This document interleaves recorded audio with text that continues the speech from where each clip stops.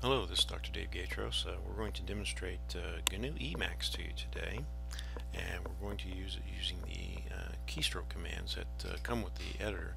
You can use a mouse with Emacs. Uh, it requires a tunneling program like Xming to make it work. Uh, we're not going to cover that today. That's in another video.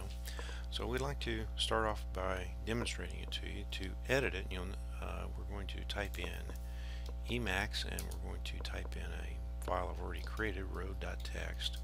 It's a poem by Robert Frost. Now over here on the left hand side I've got a uh, GNU reference uh, card which you can get at www.gnu.org. It's a very very uh, handy little thing to have. I, I, keep it by me all the time. I don't use Emacs that much but uh, I'm going to use it to kind of demonstrate it to you.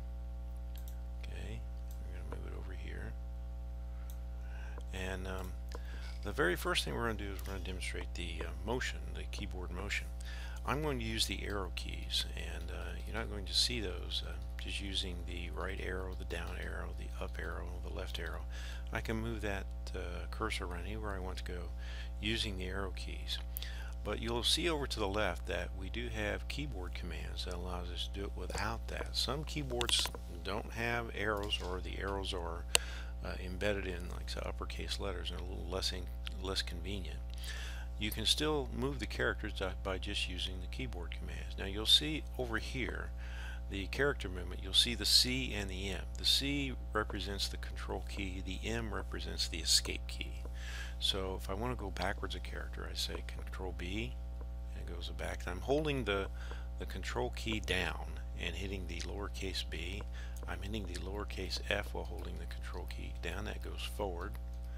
Yeah, down over here you'll go to the beginning of the uh, next line is control N. That's the down arrow and control P is the up arrow. Now we can move a word and it's a little bit different. Okay, let's say I want to go to the forward a word. I hit escape F and you'll see it pops forward a word. It's different than the control key, excuse me, in that I don't hold the escape key down, I just hit it and then press the key itself and hit it and back, go back and forward a word. Okay, I can go to the beginning of a sentence or backward to the beginning of a sentence by hitting escape and A. Again, I'm not holding it down to the end of the sentence by hitting escape and E. Uh, I can go to the beginning of the paragraph by hitting escape and the left curly bracket and then escape and then uh, the right curly bracket to go to the uh, end of a paragraph. You can go backwards and forward to page 2. The other ones that we use are down a little bit further. Scroll to the next screen is Control V and Escape V is the previous page. Excuse me. Escape V is the previous page. But since we don't have a full screen, it doesn't go back and forth, but they're very useful commands. Okay. Um, you can also do other things like uh, go to a specific uh, line number or go to a specific character. This is useful when you're editing um, source files and you've got a specific error at a particular line and a character number. Uh, very, very handy. The next thing I'd like to show you is uh, how to save a file, and that's over here. And you'll see over to the left-hand side how to suspend Emacs and exit Emacs permanently. The very first thing you want to do is you want to save the file back to disk. That's usually this command right here is the control X and the control S. Let me actually go up here and make a change. Okay, and I'm just going to add a line right here. I'm going to enter control X and control S and you'll see at the bottom of the screen it says wrote to home faculty gaitros d Okay, and that's the one you're going to use most often save file which is control X and then just the character S uh, is useful if you've got a couple of files open but it'll ask you which file you want to save. Another one that's very useful here is the control X and I which you can put the cursor in a particular place like right here and do a control X and, and then an I and it'll ask you what file you want to insert at that particular place. Okay. Um, the next thing you want to do is to exit Emacs. You can control Z, but most of the time you're going to want to do this one right here, which is exit Emacs permanently. If you've saved all the changes, control X and control C, you'll see that it exits Emacs quite nicely. Okay. We'll go back into the file right here. Um, getting help, you can do uh, control and escape V scrolls to help windows. Um,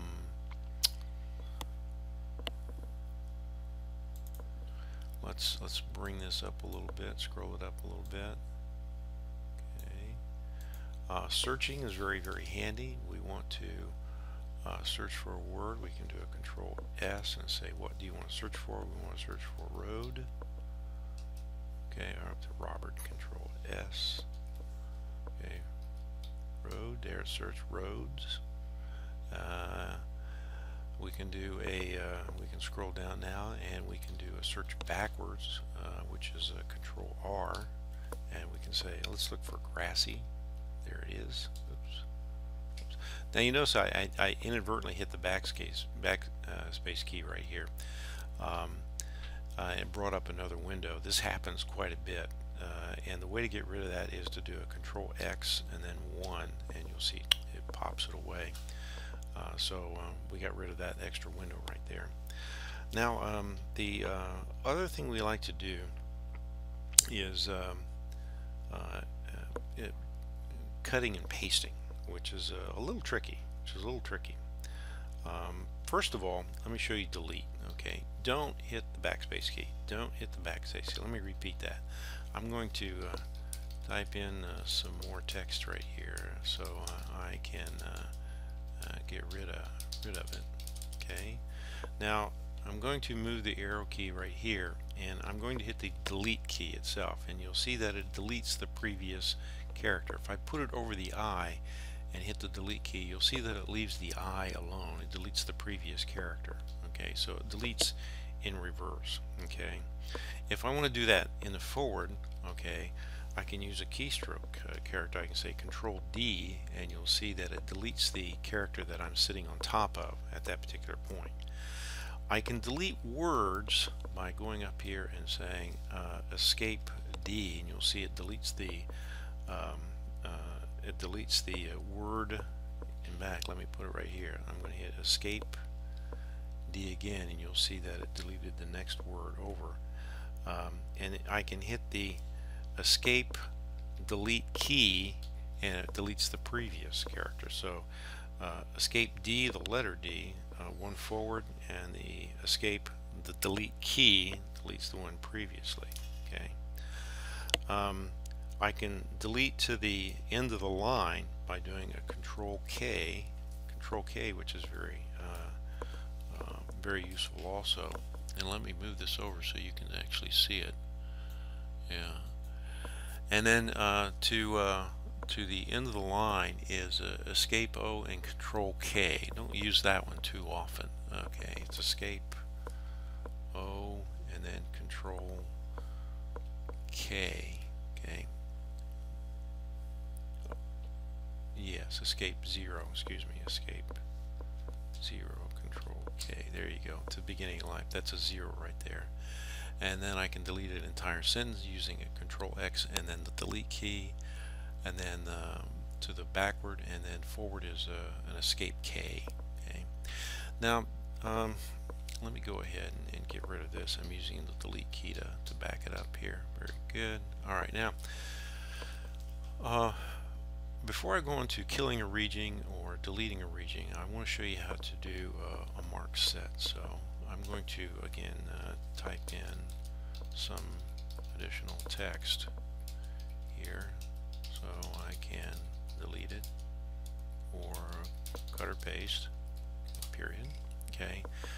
Now I'm going to go up here and put the cursor right above that and I'm going to do uh, I'm going to mark uh, this particular spot which is a, a control and shift and then I'm going to get the add sign right there okay so you see at the bottom it says mark set. Now I'm going to move the cursor okay?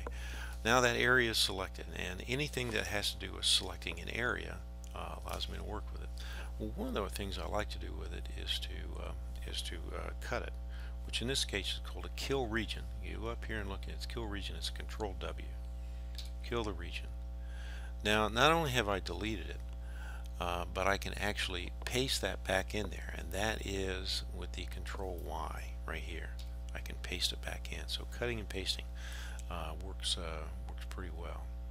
You can also do a lot of marking. You can mark the paragraph, a page, uh, a function or a buffer.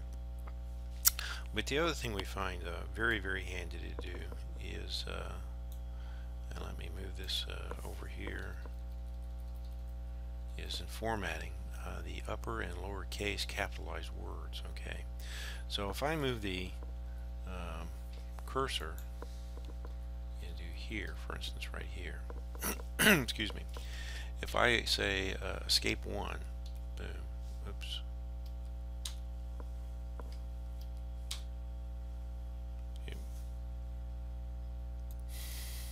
Let me move the cursor in front of a word. I want to show you a little little trick with this. I'm going to put the uh, character right there, and I'm going to say I want to make that an uppercase word. I put it right on the beginning of the word itself, and say escape U for upper. Now I can do that with any word. Uh, I'm going to do travel right here. I'm going to say escape U for upper and it, it does the whole word. I'm going to move it back to the beginning of the word. And I'm going to do escape L for lower. But I want you to notice something else. If I move the cursor right in the middle of the word and I say escape U, it only um, puts the uppercase word from the point of the cursor to the end of the word. So you have to be very careful. You want to do the whole word uh, itself. I'm going to do an escape lower to lowercase this letter right here. Uh, I can also um, uh, uppercase an entire region. Okay, and um, again we go up here and we select the region. I mark it with the uh, control, the at sign. Okay, and then I can do uh, control uh, X control U and you'll see it, it uppercases the uh, whole region. I can lowercase the whole region also. I'll go up here and mark it again and then uh, it is uh, control X and control L for lowercase. Okay. Um, the uh, uh, couple of other things that you can do, and I'll just kind of show them to you. Again, this GNU reference card is a very, very handy thing to do um, you can actually uh, uh, formatting is uh, inserting new line after points a very handy thing to do or indent for a comment also a very handy thing to do. Um, I think this kind of covers uh, most everything. There's a wealth of commands in Emacs but uh, uh, the other thing you can do is you can do a, a spell check which is on the next page of this card. There's another uh, page of the card, the spelling checker is, uh, um, let's see,